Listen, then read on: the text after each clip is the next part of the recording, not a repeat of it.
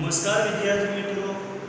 ધોરણ દસ વિષય સંસ્કૃત વિષયાંક પાઠ ચાર. જનાદનસ્ય પશ્ચિમ સંદેશ.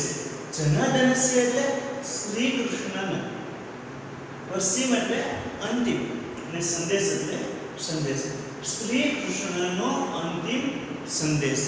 કે વિદ્યાર્થી મિત્રો, તમે થોડો પાઠ અને પાઠની માહિતી ગયા વિડીયોમાં જોઈ ગયા અને હવે આપણે આ પાઠમાં જ્યાં પહોંચ્યા છીએ ત્યાંથી આપણે સમજૂતી મેળવી તો છેલ્લો આપણે થોડુંક યાદ કરાવી દો કે ઘટોત્કચ ધૃતરાષ્ટ્ર પાસે જાય છે, એમને અભિવાદન કરે છે, પછી એને કહે છે કે ભાઈ, ભગવાન શ્રી કૃષ્ણએ મને મોકલ્યો છે. તો ધૃતરાષ્ટ્ર આસન પરથી ઊભા થઈ જાય છે કે શું આજ્ઞા આપી છે ભગવાન શ્રી કૃષ્ણ ત્યારે ઘટોત્કચ કહે છે કે ના ના આસન પર બેસીને જ આપ સાંભળો.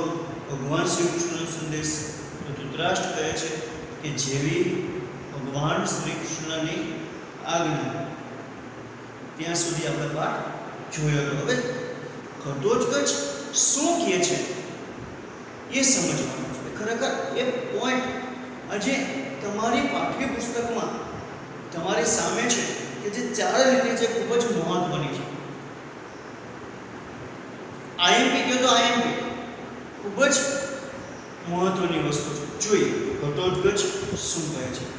કે પિતામહ એટલે કે પિતામહ શ્રૂયતામ સાંભળો. શ્રૂયતામ એટલે સાંભળો.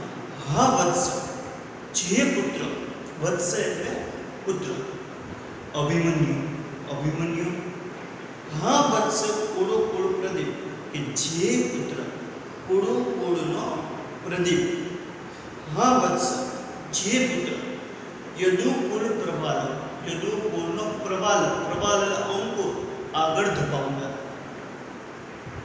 તવ જનની. તવ એટલે તેની. જનની. જનની એટલે માતા. માતુલ. માતુલ એટલે મામા મમાપી. મમ પ્લસ અપી. એ સંધિ છૂટી પડો. મમાપી. મામપી એટલે મમ પ્લસ અપી કે તેની માતા, મામા અને મને પણ પરિતજ્ય છોડીને પિતામહ, પિતામહને દૃષ્ટમાં દૃષ્ટ પ્લસ આશે દૃષ્ટ પ્લસ આશય. દૃષ્ટ જોવાની આશય એટલે ઈચ્છા. જોવાની ઈચ્છાએ સ્વર્ગ ભીતો હશે. સ્વર્ગે સિદ્ધાર્યો છે સ્વર્ગે સિદ્ધાર્યો છે એટલે મૃત્યુ પામ્યો છે તો પિતામહ પિતામહ એક પુત્ર વિનાશ એક પુત્રના વિનાશથી અર્જુનસ્ય અર્જુનની તાવત તેવી ઈદૃશ્ય આવી ખલ્લો એટલે ખરેખર અવસ્થા દશા અર્જુનની ખરેખર આવી દશા થઈ છે કા પુનઃ હોશે તો પુનઃ ભવતો આપની તો વળી ભવિષ્યથી કેવી થશે? કે એક પુત્રના વિનાશથી અર્જુનની ખરેખર આવી દશા થઈ છે, તો આપની તો વળી કેવી થશે? તત ત્યાર પછી ક્ષિપમાં ઇદાનીમ આત્મબલ પુરુષો તો અત્યારે આપ આત્મબળ ક્ષિપમાં ધારણ પુરુષોથી કરો. તો તમે અત્યારે આપ આત્મબળ ધારણ કરો યથા જ્યારે તે એટલે તે પુત્ર શોક ઉત્તિષ્ઠ અગ્નિ પુત્રના શોકમાંથી ઉઠશે ત્યારે અગ્નિ જો છેલ્લે ડ પછી ડ છે ને એના અવગ્રહ કહેવાય શું કહેવાય? એ- એનો ઉચ્ચાર ન થાય. એને અવગ્રહ કહેવાય. કે અગ્નિમાં અગ્નિમાં દેહ પ્રાણમય હવી નથી. દેહને, પ્રાણને હવી રેડી હવીની માફક બાળી નાખશે. હવી એટલે શું? હવી એ યજ્ઞમાં હોમવામાં આવતી એક વનસ્પતિનું નામ છે. જે આપણે યજ્ઞ કરીએ છીએ, ત્યારે એમાં જે હોમીએ છીએ વનસ્પતિ, એને હવી કહેવાય. કે જેમ અગ્નિ છે, એ હવીને બાળી નાખે, એમ એ આપના પ્રાણને બાળી નાખશે. શું કીધું ઘટોત્કચે ધ્યાનથી વિદ્યાર્થી મિત્રો સાંભળજો કે પિતામહ, સાંભળો. જે પુત્ર અભિમન્યુ, જે પુત્ર કુળુકુળનો પ્રદીપ, જે પુત્ર યદુકુળનો પ્રવાહ, એટલે કે અંકુર, તેની માતા, મામા અને મને પણ છોડીને પિતામહને જોવાની આશાએ સ્વર્ગે સિદ્ધાવ્યો છે તો પિતામહ, એક પુત્રના વિનાશથી અર્જુનની આવી દશા, ખરેખર આવી દશા થઈ છે. તો આપની તો વળી કેવી થશે તો અત્યારે આપ આત્મબળ ધારણ કરો.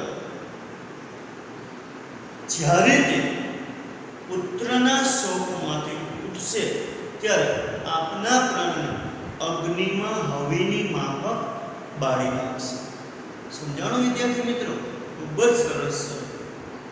તો શકુની કહે છે, યદિ સ્યાદ વાક્ય માત્રેણ નિર્જીયતે વસુંધરા. યદિ, શું? સ્યાદ વાક્ય મત એમના કહેવાથી કહેવાથી નિર્જીયતે જીતી શકાશે વસુંધરા એટલે ધરતી વસુંધરા એટલે પૃથ્વી ધરતી કે શું માત્ર એમના કહેવાથી કંઈ ધરતી જીતી શકાશે નિર્જીતે નિર્જીતે એટલે જીતી શકાશે વાક્ય વાક્ય યદિ ભેષસ્થ સત્ર ક્ષત્રવત વાક્ય વાક્ય કાંઈ એમના કહેવા કહેવાથી બોલવાથી કંઈ ક્ષત્રવધ ક્ષત્રિયોનો વધ થવાનો છે કે શું એમના કહેવાથી કંઈ ધરતી જીતી શકાશે? કે શું માત્ર એમના કહેવા કહેવાથી કંઈક ક્ષત્રિયોનો વધ થવાનો છે? આવું શકુની ઘટોજગજને કહે છે. દરેક ઘટોજગજ કહે છે. શકુની રેસ વ્યારતી. શકુનીને વ્યારતી કહે છે. ભો શકુની, અરે શકુની, અક્ષાન વિમુચ્ય ભવ બાણી. અક્ષાન જુગટાના પાસા. એ શકુની જુગારી જુગટા પેલો ચોપાટ રમતા એટલે શકુનીને શું કીધું?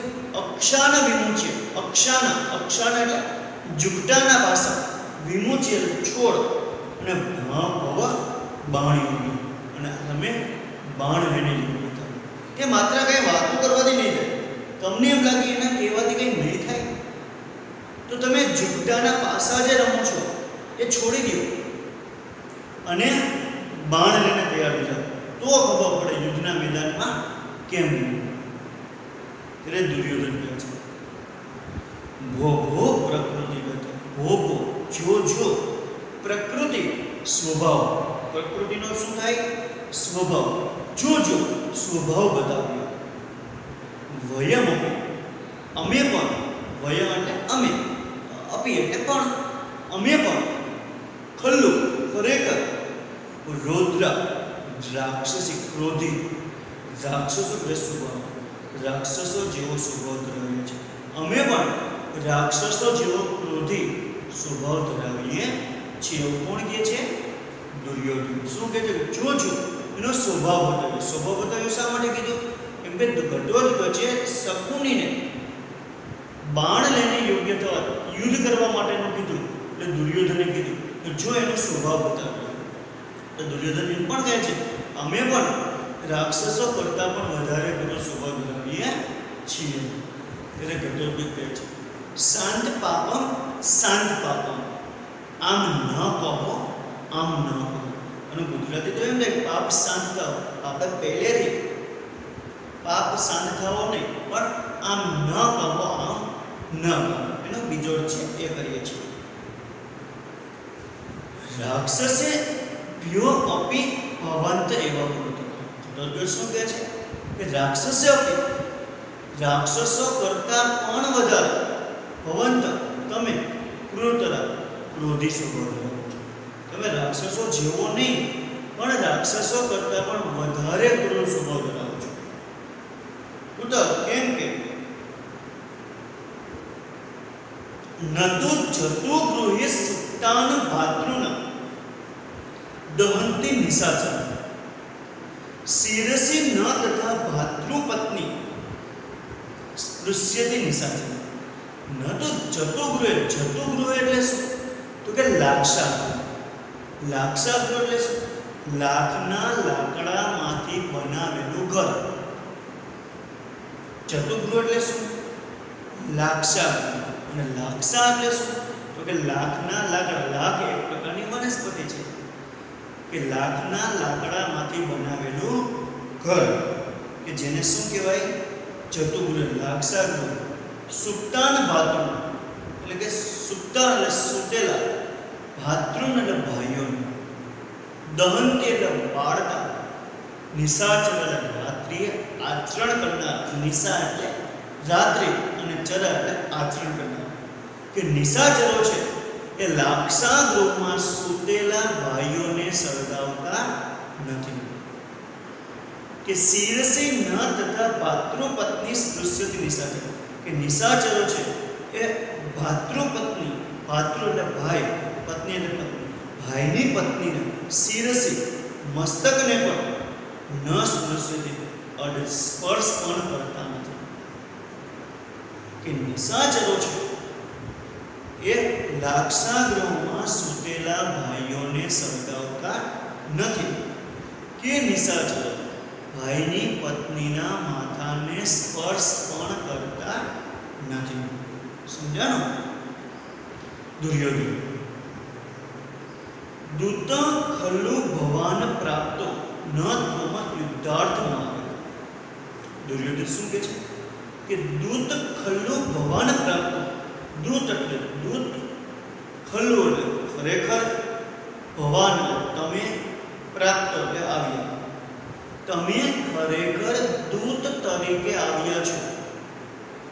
ન ત્વમ યુદ્ધાર્થમાં ન નહીં ત્વમ તમે યુદ્ધાર્થ, યુદ્ધ માટે આ લાવ્યા તમે યુદ્ધ માટે આવ્યા નથી. દુર્યોધન શું કહે છે? કે આપ ખરેખર દૂત તરીકે આવ્યા છો. યુદ્ધ કરવા માટે નહીં ગૃહિત્વા ગચ્છ સંદેશ ગૃહિત આપીને ગચ્છ જાઓ સંદેશ સંદેશ સંદેશો આપીને ચાલ્યા જાઓ ન વયમ દૂત ઘાતકા અમે દૂતના હત્યારા નથી દૂત ઘાતકા ઘાતકા એટલે હત્યા અમે દૂતના હત્યારા નથી દુર્યોધન શું કહે છે આપ ખરેખર દૂત તરીકે આવ્યા છો યુદ્ધ કરવા માટે નહીં. સંદેશો આપીને ચાલ્યા જાઓ. અમે દૂતના હત્યારા નથી. તો ઘટોદગજ સરસ ક્રોધ. કેમ દૂત ઇતિ મહાપ્રદેશ? કેમ એટલે શું? દૂત એટલે દૂત, ઇતિ એટલે તે મા એટલે મને પ્રાધવ પ્રદર્શ્ય સંબોધો છો. કે ક્રોધમાં રોષપૂર્વક કે શું તમે મને દૂધ તરીકે સંબોધો છો? દુર્યોધને કીધું, ન ઉપર કે તમે દૂધ તરીકે આવ્યા છો. એટલે ઘટોત્કચ કહે છે, ગુસ્સે થાય છે. કે શું તમે મને દૂધ કહો છો? મહાતાવત જો એમ હોય તો ન દૂધો હું દૂધ નથી. તો શ્રી કૃષ્ણ ભગવાનના મોકલ્યા હતા, એટલે દૂધ હતા. બાકી કોઈના દૂધ હતા નહીં. એટલે હું દૂધ નથી. પ્રહધ્વમ સમાટ પ્રહધ્વમ પ્રહાર કરો. સમાત મારી સાથે. એક સાથે બધા પ્રહાર કરો. સર્વે ઉત્તિષ્ઠતે બધા ઊભા થાય છે. દુર્યોધન, જ્યારે દૂત તરીકે સંબોધે છે ત્યારે ઘટોત્કચ રોષપૂર્વક કે શું તમે મને દૂત તરીકે સંબોધો છો? જો એમ હોય તો હું દૂત નથી અને મારા પર એક સાથે પ્રહાર કરો. બધા ઊભા થાય છે.